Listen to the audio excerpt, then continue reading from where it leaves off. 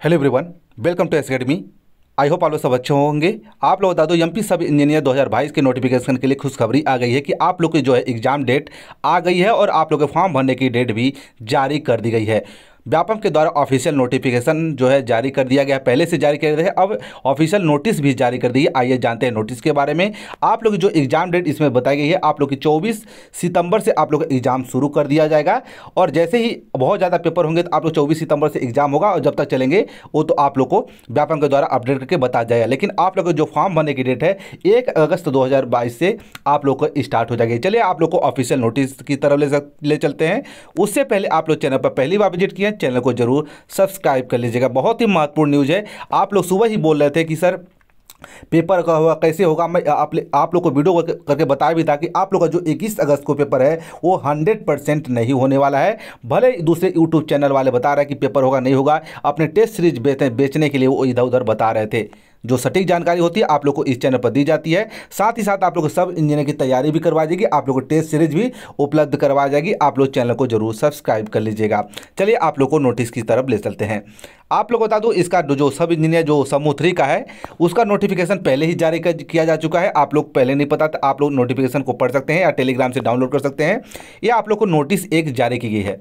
समूह थ्री उपयंत्री मानचित्र का समयपाल समकक्ष पदों की सीधी भर्ती, बैकलाग भर्ती हेतु संयुक्त भर्ती परीक्षा 2022 के संबंध में संशोधित सूचना है, क्योंकि इसका नोटिफिकेशन ऑलरेडी पहले से जारी कर किया जा चुका है। इसमें लिखा कि आवेदन पत्र भरने की तिथि जो है, एक अगस्त, ध्यान दीजिएगा, यहाँ पे यहाँ पे लिखा है, एक अगस्त 2022 से 16 अगस्त 2022 तक आप लोग फॉर्म भरने की डेट है।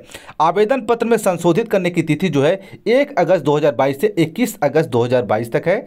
ऑनलाइन परीक्षा संबंधी समय प्रणाली यहाँ पे देख सकते हैं। आप लोग को परीक्षा जो है 24 सितंबर 2022 से प्रारंभ हो जाएगी और जितने दिनों चलेगी वो आप लोग को अपडेट कर दिया फॉर्म भरने के बाद ही पता चलेगा कितने बच्चे फॉर्म भर रहे हैं, कितने दिनों में आप लोग की परीक्षा यह कंडक्ट करवाई जाएगी।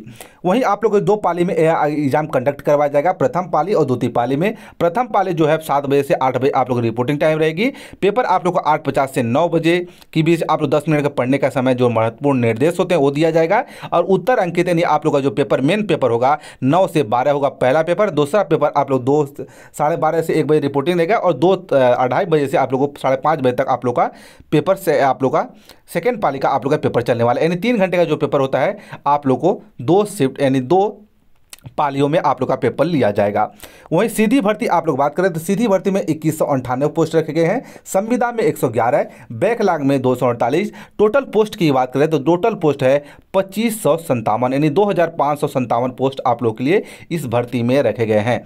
वहीं आप लोग के आवेदन फ़ीस की बात करें, आवेदन शुल्क की बात करें तो आप लोग ध्यान देगा अनारक्षित अभ्यर्थियों के लिए 500 प्रति जनरल रिज़र्व कैटेगरी के लिए, अनुसूचित जाति, अनुसूचित जनजाति, अन्य पिछड़ा वर्ग दिव्यांग अभ्यर्थियों के लिए दो सौ रखी गई है और सीधी भर्ती बैकलॉग के लिए कोई शुल्क नहीं रखा गया है। कियोस्क के माध्यम से, ऑनलाइन माध्यम से आप लोग भरेंगे तो साठ रुपये लगेगा। रजिस्टर्ड सिटीजन है तो आप लोग को बीस रुपये शुल्क देना होगा, जो पहले से ये व्यापम का रूल है कि इतना ही फ़ीस आप लोग को लगती है।